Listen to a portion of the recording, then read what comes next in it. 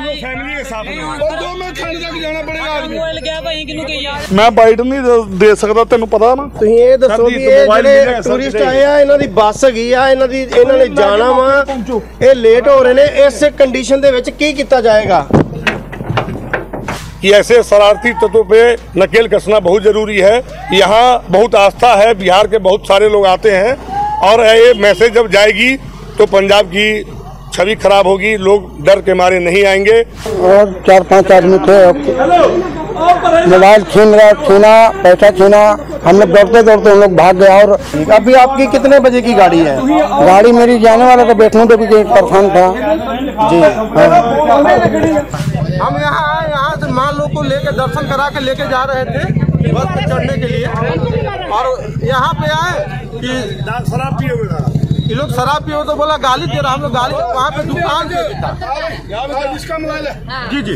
कि ऐसे शरारती तत्वों पे नकेल कसना बहुत ज़रूरी है। यहाँ बहुत आस्था है बिहार के बहुत सारे लोग आते हैं। और ये मैसेज जब जाएगी तो पंजाब की छवि खराब होगी लोग डर के मारे नहीं आएँगे। मैं आग्रह करता हूँ और मोबाइल मिले ना मिले अब इन, इनके ऊपर है।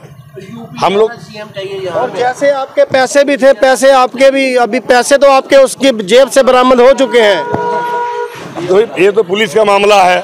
अब हम लोग लेट हो रही है तो हम लोग मोबाइल अब वो बोल रहे हैं कि ईएमआई नंबर दीजिए तो कोई पर्स में लेके तो घूमता नहीं है।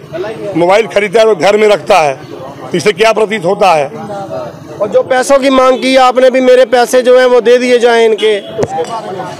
तो भाई मिलेगा तब तो हम लोग अब क्या करें? अब इनके हाथ में है जो करे हम लोग को विलम्ब हो रहा है इसलिए निकल रहे हैं। जय माता दी। और चार पाँच आदमी थे। मोबाइल छीन रहा छीना पैसा छीना हम लोग दौड़ते दौड़ते हम लोग भाग गया और दो आदमी घर आया। अब आप क्या मांग करते हैं? हमें मोबाइल मिल जाए। और कोई दिक्कत ना है। ठीक है ठीक। अभी आपकी कितने बजे की गाड़ी है? गाड़ी मेरी जाने वाला था बैठने तो भी परेशान था। जी। हाँ। बारह बजे के बाद टैक्स फेल हो जाएगा हम लोग का। ठीक। कितना नुकसान हो रहा है आपका? नुकसान जो टैक्स फेल हो जाएगा तो जो अब उन्हीं का नुकसान होगा गाड़ी वालों के।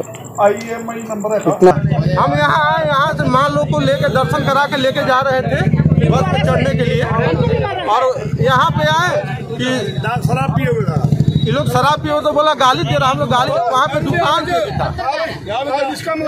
जी जी ਮੈਂ ਬਾਈਟ ਨਹੀਂ ਦੇ- ਦੇ ਸਕਦਾ ਤੈਨੂੰ ਪਤਾ ਨਾ ਤੁਸੀਂ ਇਹ ਦੱਸੋ ਸਰ ਜੀ, ਵੀ ਇੱਕ ਇਹ ਮੋਬਾਈਲ ਜਿਹੜੇ ਮਿਲਿਆ ਸਰ ਟੂਰਿਸਟ ਜੀ। ਆਏ ਆ ਇਹਨਾਂ ਦੀ ਬੱਸ ਹੈਗੀ ਆ ਇਹਨਾਂ ਦੀ ਇਹਨਾਂ ਨੇ ਜਾਣਾ ਵਾ ਇਹ ਲੇਟ ਹੋ ਰਹੇ ਨੇ ਇਸ ਕੰਡੀਸ਼ਨ ਦੇ ਵਿੱਚ ਕੀ ਕੀਤਾ ਜਾਏਗਾ